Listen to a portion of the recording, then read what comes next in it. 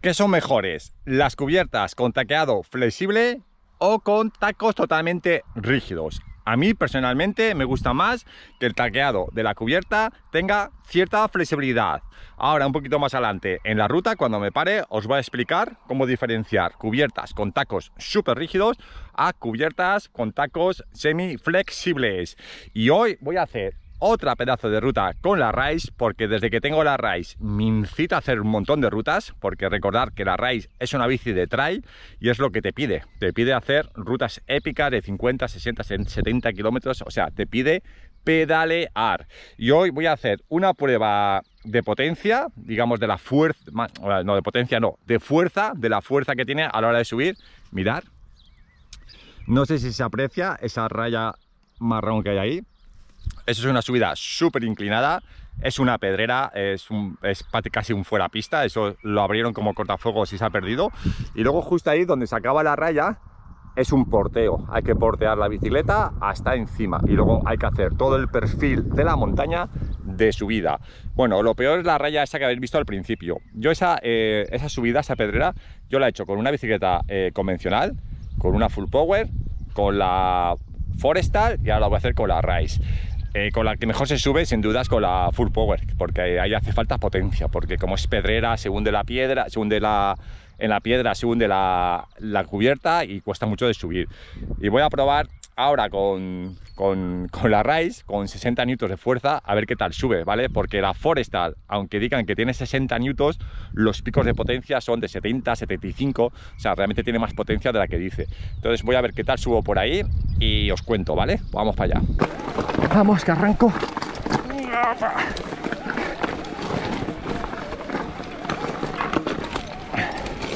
Vale. Uf. Venga, sube, sube. pues sí que tiene fuerza, ¿eh?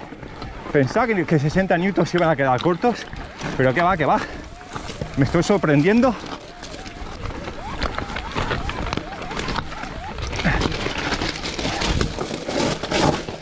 ¡Guau! Aquí me quedé. Bueno, mirad, esta es la parte que os decía. Ojo, esto es una pedrera total. No tiene firme ninguno, y aquí la rueda trasera va todo el rato patinando. Y aunque tengas mucha fuerza da igual. Te patina ahí y no subes. Ya estamos llegando arriba creo. Y hasta aquí hemos llegado. Bueno no está nada mal. He caminado ahí 5 metros solo 5 metros de pedrera. Pero vamos, yo pienso que si no me llega a patinar la rueda, uh, los hubiese subido. Yo creo que ha sido más culpa mía que he pisado un pedrero y se me ido la bici de que la bici no pueda. O sea que 60 newtons sube muy bien por esta pedazo de pedrera. Y mirad lo que viene ahora, ¿eh? Ojo. Porteo. Mirad, ahí tenéis el pantano de la vila. Y ahora tengo que subir por aquí. Para arriba. ¡Ay! Porteando esto. Estoy todavía esperando que algún youtuber haga un tutorial de cómo portear una e La leche. Y esta no es de las pesadas. Imaginaos llevar aquí 25 kilos en la mano un cachito, pero no veáis el cachito. Va, se va uno súper expuesto, pero súper expuesto, ¿eh? Y tiene ahí un, un par de escalones y una roca plana. Que tela, ¿eh? La inclinación que tiene. Esta ruta yo no la recomiendo con bicicletas convencionales. Esta ruta la he hecho yo con mi bici, con mi trek, y la verdad que te inflas a andar. ¿eh? Eh, aunque parezca que vas a poder subir, hay un montón de curvas y tramos que los tienes que andar, porque el suelo no es firme, es de pedrera y es un rollo. Ahora la subida hasta arriba del todo es por single track, o sea, un sendero muy chulo, muy divertido de hacer con bicicleta eléctrica. Mirad qué pesadilla de piedras, ¿eh? Si me está costando moverla con la bicicleta eléctrica, imaginaos con una convencional todo el rato se va, todo el rato se queda parada. Vamos, se quiere quedar, se clavan mucho las ruedas. Y ves estas curvas que os decía, que están inclinadas, que no veas. Esas son las vistas de la bahía de Benidorm y esa es la bahía de la vida. Y eso de ahí es lluvia, o sea que me cago en la leche, tío. Me voy a mojar y no me traje chubasquero, eh. Mirad, todo eso es lluvia. Así que no voy a hablar mucho os cuento lo de los tacos que os iba a contar. Mirad, Cuando veáis una cubierta y veáis estas hendiduras, no sé si se verá, creo que sí, ves que ahí tiene una hendidura y ves que este también. Esa hendidura lo que hace es darle cierta flexibilidad al taco, además de darle un poquito más de grip, le da sobre todo flexibilidad. ¿Qué significa eso? Que la cubierta va a ser más dulce de meter en las líneas. Que yo sepa, seguro que hay más marcas, pero que yo sepa, la única marca que tiene una... Bueno, la única, la única que yo sé, ¿no? La única que yo sé es Specialized, que ha sacado... Eh, la última que ha sacado de DH. Los tacos son 100% macizos, no tienen ningún tipo de, de raya.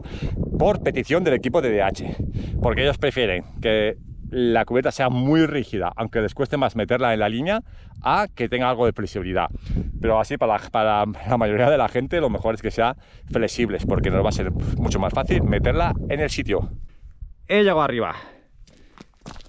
Estoy ya en el punto más alto. Mirad eso de ahí, todo eso es lluvia. Así que me voy a vestir súper rápido y me tiro para abajo ya al descenso. Vamos para allá, espero que no llueva y espero no mojarme. Este, esta senda se llama DH, DH Orcheta. Eh, su mayor característica es que es muy rápido, tiene mucha piedra suelta y tiene algunos tramos que realmente están inclinados. Es fácil quedarse sin frenos, ¿eh? si frenamos demasiado.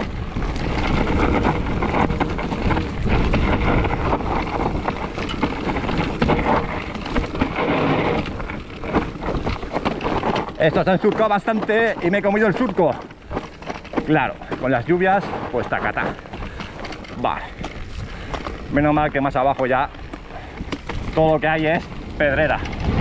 Esto es un cresteo, esto si se grabase con un dron sería un cresteo. Estamos cresteando toda la montaña. Dirección medidor.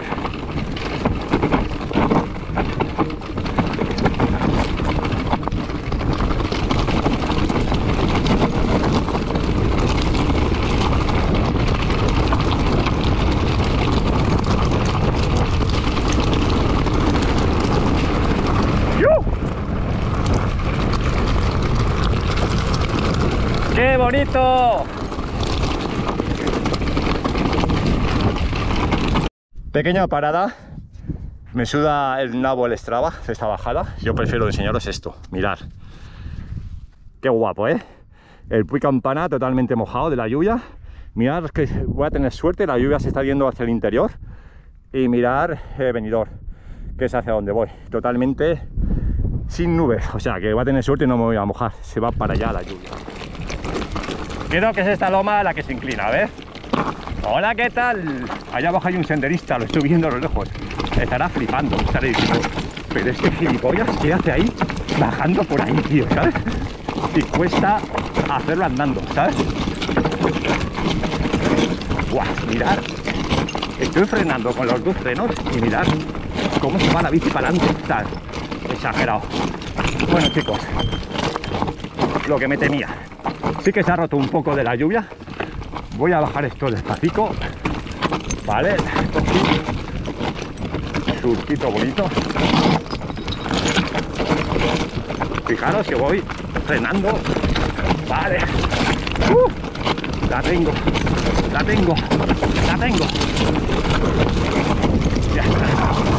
Joder. Uh, pedrera loca.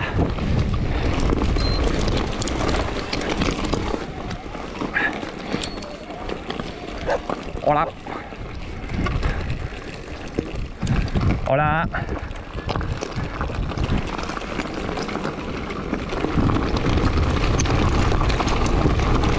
Flipando habrá quedado la pobre. Mira, este tarao, ¿qué hace ahí? Bueno, aún no hemos acabado. Aún nos quedan aquí más pedroleo y más escalones.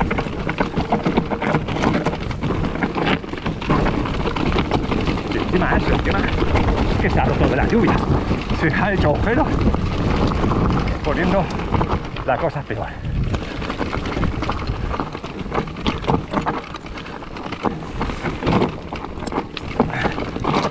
A ver el tramo este. Mira, agujero de la lluvia. Voy un poco mosqueado por la lluvia, ¿eh? Por aquí normalmente se baja más suelto. pero estoy muy mosca con que se haya hecho un agujero o algo donde, nos, donde me pille por sorpresa. Vale. Parece que está bien. Vale. Vale. Bien, bien. Mejor prevenir que curar, ¿sabes?